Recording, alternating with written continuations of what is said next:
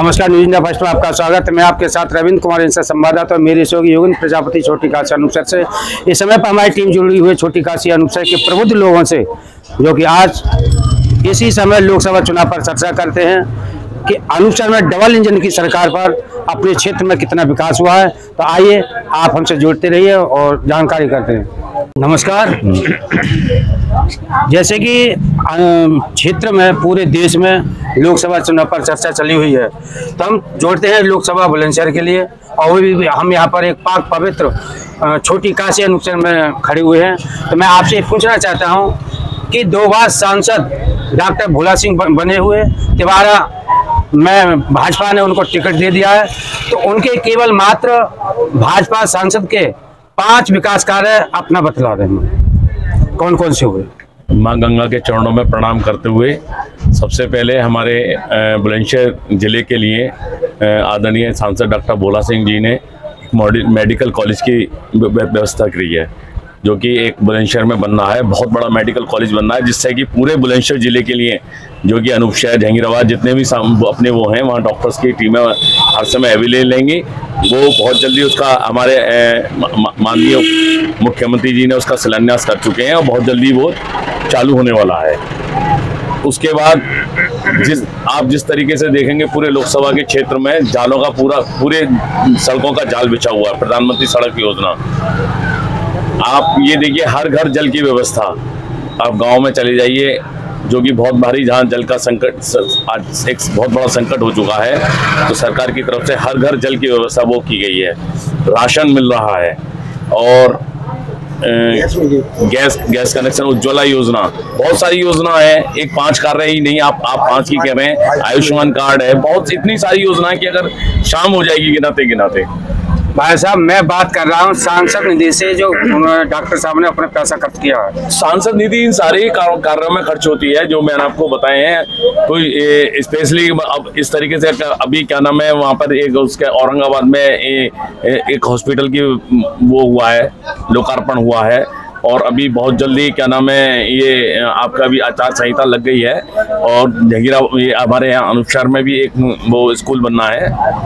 क्या नाम है अभी नगर पालिका से ज़मीन आवंटित हुई है। तो चुनाव आचार संहिता की वजह से हुई बहुत सारे विकास कर रहे हैं। अच्छा अंकल जी आप बताइए आप पहले नाम बताइए मेरा नाम है अशोक सुबी हाँ जी बताइए। क्या बताऊँ भैया? विकास के बारे बता ले बताइए आप छोटी काशी एक बात असल में ये मुखिया है मोदी जी। जी।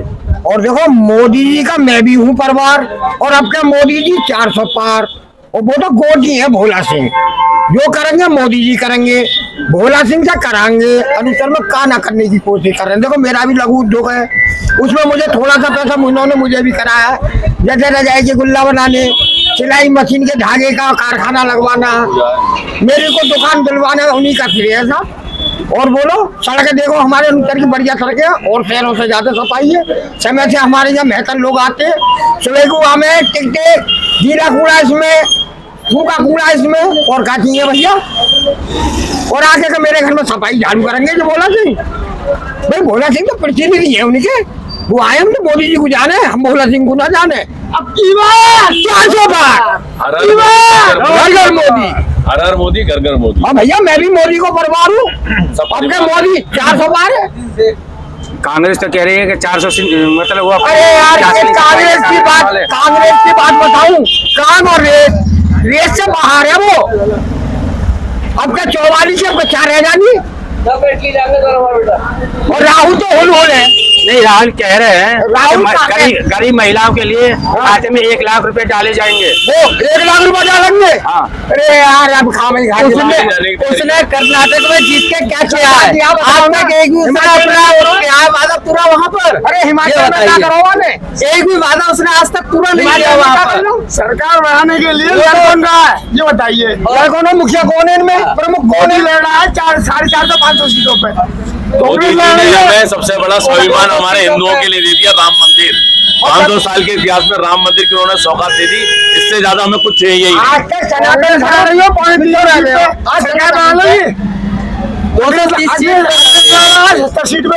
दो ममता ले रही है साठ सीट पे।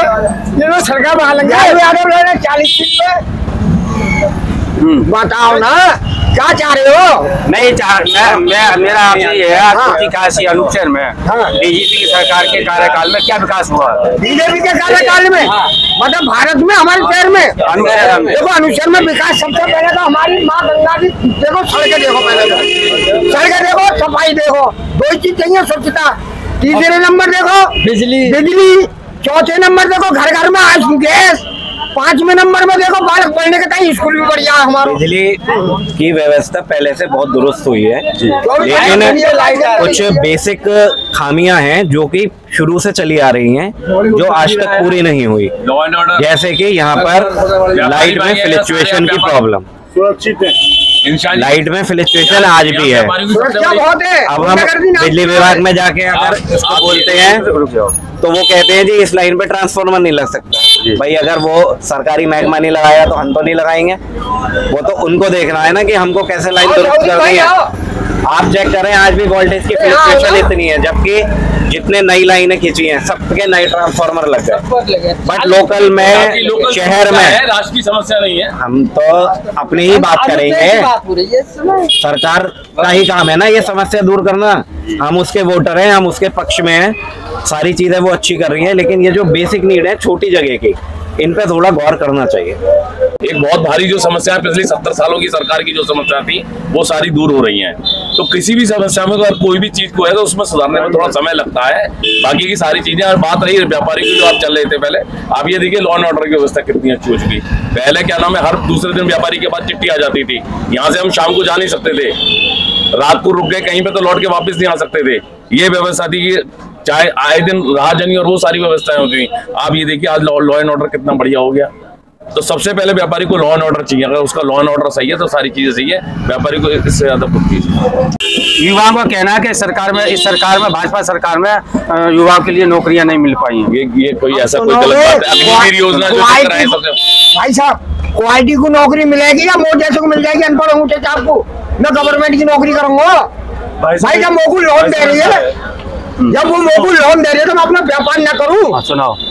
ऐसा है भाई साहब। आपका नाम क्या है? मेरा नाम मयंक गर्ग है। भाई साहब सरकारी नौकरी तो इतनी नहीं हो सकती कि सरकार सबको दे सके सरकारी नौकरी। सरकार इतना इंतज़ाम ज़रूर कर सकती है कि जो पढ़े लिखे और जो एजुकेटेड लोग हैं उनको नौकरी प्रोवाइड कर सके। उसके लिए वो सारी कार्रवाई करे। युवा तो हम फिर कहाँ रहे? हम तो पैदा भी नहीं हुए। पैदा ही ना हुए। हम तो पैदा भी नहीं होंगे ना बिल्कुल। बाबा नाम क्या है आपका? मेरा नाम जगदीश है। कहाँ से है आप? हम बिचौला से हैं। अच्छा बिचौला से है। आपकी बात भाजपा सरकार या गठबंधन सरकार को चाह रहे हैं आप? अरे भैया हम तो कुछ नहीं चाह रहे। हम तो चाह रहे हैं बालकनी नौकरी बेकार कर दो चार साल नौकरी कर दे। बालकनी ज़िंदगी बेकार कर दे। भर्ती कोई नहीं। भर्ती कभी वही नहीं। चार साल नौकरी- चार साल नौकरी कर दी बालकनी ज़िंदगी बेकार है मेरे को। बालकनी ज़िंदगी बेकार कर दी बिल्कुल। सब बालक अपने घर बैठ के मेहनत कर कर। कि सरकार ने कर दी है? हाँ, सरकार ने करे और कितने करे कितने करे कि मैंने करे चार साल में बीस लाख कमा के लाएगा। ये भी आपने देखा। कमा के लावे वो चार साल में बीस लाख मिलेंगे उसको। और नौकरी वो भी जब है अगर वो अनफिट हुआ तब चार साल में वापस आएगा नहीं उसको नौकरी नौकरी नौकरी है। बाबा वोट किसको दोगे? वोट किसको दोगे? देंगे नहीं आप आप गठबंधन के लिए जाएँगे या या भाजपा के लिए जा रहे हैं? जाओ हम अनकर में करो आप नहीं करे या सरकार माल में ज़िंदगी बेकार कर दे लेटेस्ट अपडेट के लिए हमारे चैनल न्यूज़ इंडिया फ़र्स्ट को लाइक शेयर एंड सब्सक्राइब करें। एंड यस बेल आइकन को प्रेस करना ना भूलें।